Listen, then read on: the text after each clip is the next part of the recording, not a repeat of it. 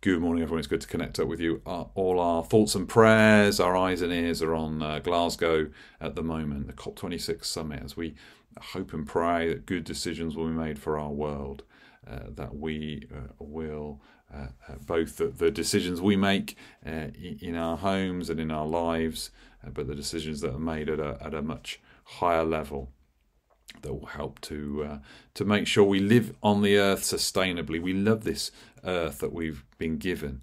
Uh, uh, creation are all around us, uh, and we want to leave it in a good state uh, for the next generation and generations to come. Speaking of which, we had a few young people in uh, church on Sunday, and we had a few pumpkins as well. we wanted to take what's become a real celebration of darkness and death, really, uh, and turn it into something more focused on God's uh, light.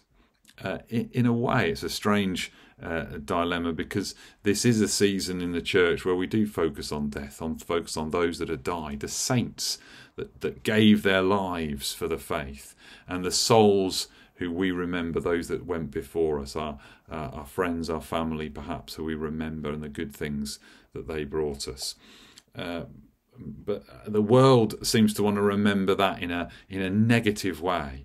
Uh, so uh, uh, we got our pumpkins and we said, let's see if we can create more positive positive pumpkins. Uh, uh, so we we had some of our young people made smiley faces or or stars and, and, and moon to to represent God's great creation. I went for the rather obvious but still classic uh, cross. Very easy to do, which was help, just straight lines. But, uh, but, but it does occur to me actually that this 2,000 years ago, this was a symbol of, uh, of negativity, a symbol of death and destruction. Uh, and in fact, it was a symbol of the worst possible death that you could, uh, uh, you could endure. Um, uh, and now it is a symbol of life. It's a symbol, a positive symbol. It's a plus sign as well. But anyway, we won't go into that. But that's which is positive. Um, oh, there's a whole sermon in there, isn't there? But uh, I, I, won't worry about that at the moment. Um, and so there's a sense in which uh, the Christian message has taken something negative and brought positive, taken a cross that symbolized death. Uh, and Jesus has turned that around. In fact, he, he's literally taken death itself and said, uh, No, we do not need to fear because eternity is beyond. Uh, and we can't really get our heads fully around that, but the sense is we can live in hope we can live in a, a living hope in, in Christ and, and all that He's done. Uh, and, and in that, uh, it can turn something that may be uh, negative into something positive. So I think uh, I could go on, but uh, I think that's where I want to leave uh, us today. Uh, I'm sure we will encounter uh, negative things today, whether they're pumpkins with, with not very nice faces on, or, or, or people dressed up in strange ways uh, uh, just trying to engage with this this time of the year. Uh, but we can bring God's light. God's light shines in us and shines through us. Uh, and as Christians, uh, that's the message we have a message of uh, hope and a message of, of, love. So let's pray now. Heavenly Father, we thank you for your world. We thank you that these pumpkins also show us part of your creation part of the fruitfulness. And we pray this meeting in Glasgow would be a fruitful one.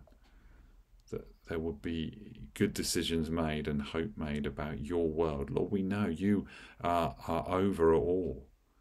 And we pray you would work in the hearts and minds of those leaders as they gather. And you would work in the hearts and minds of us uh, as we uh, think what, what our part might be to play. And above all, Lord, we pray you would uh, you would fill us with your Holy Spirit and enable us to overflow with your love and goodness as we go through the world, as we encounter uh, dark places, dark uh, uh, deeds, as we encounter destruction and difficulty. Uh, I pray that you would help us to be those who seek to bring goodness. Yes, there may be a cost. Uh, but the legacy will leave as we as we seek to shine your light in the world will be one that will be be seen and, and known and and uh, and continue on. So bless us, uh, we pray, uh, with uh, uh, that living hope. In Jesus' name, Amen. Amen. Well, bless you today and uh, look forward to connecting up soon.